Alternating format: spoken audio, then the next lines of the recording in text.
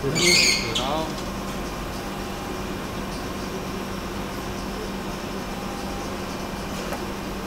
Zustellung ist auch nur noch, denke ich.